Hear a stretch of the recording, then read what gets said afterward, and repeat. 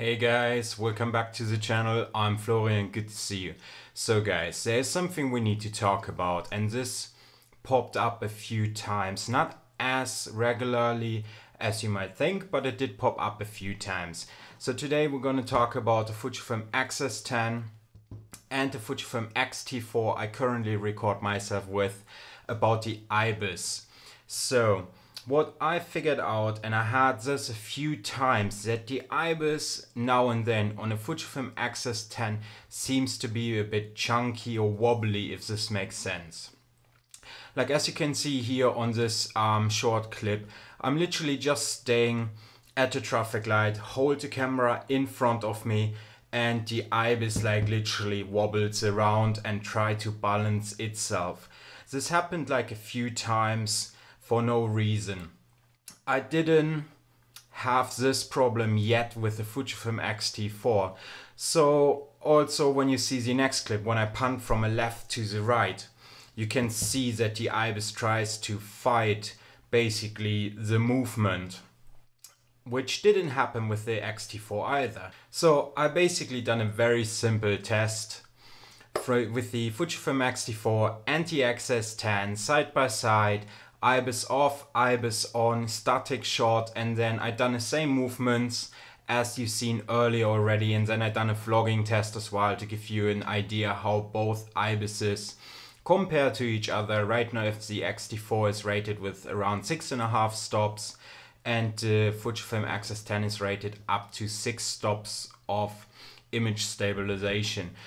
Also, I like to mention that both camera setups been identical. So basically, I shot both cameras with the 18 to 55 2.8 to 4. I set the aperture to f4, ISO 640, and a shutter speed of 48th of a second for both cameras.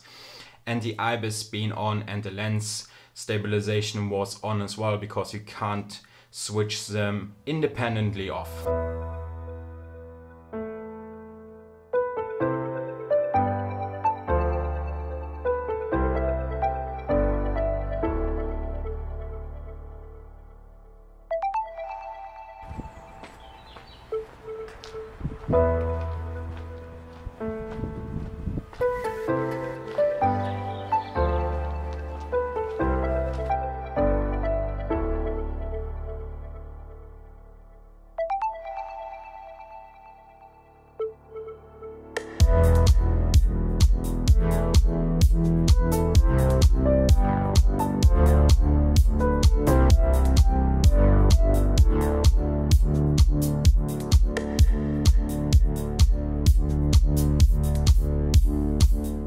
So guys, now we have seen the X-S10 and the X-T4 separately side by side when the IBIS was on and the lens OIS was on and switched off.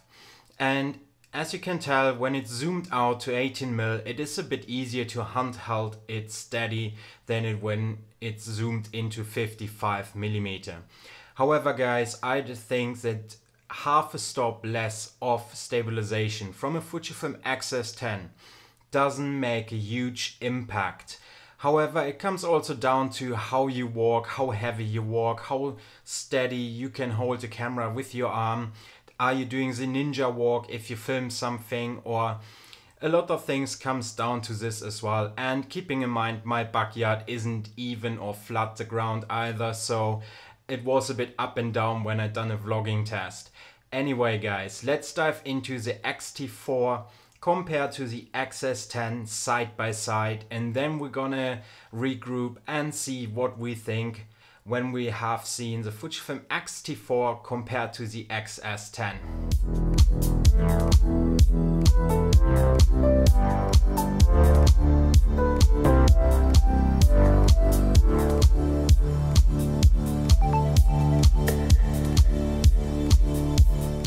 Here we go guys, now we have seen a Fujifilm X-S10 stabilized compare or next to the Fujifilm X-T4 stabilized.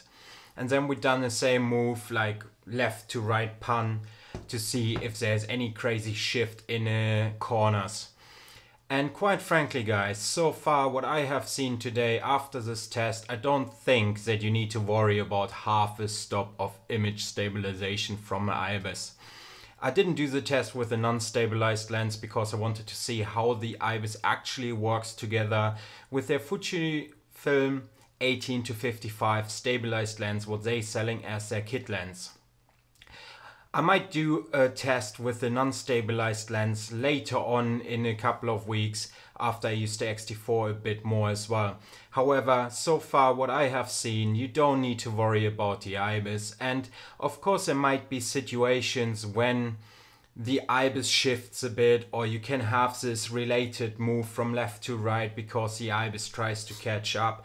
And if you know those little tweaks you can walk around them. You just punt a bit longer and you get basically the same clip as you wanted to if you know your ibis shift sometimes and you can record the whole clip again you just gonna record it again however technology is technology and there might be always little flaws in our technology.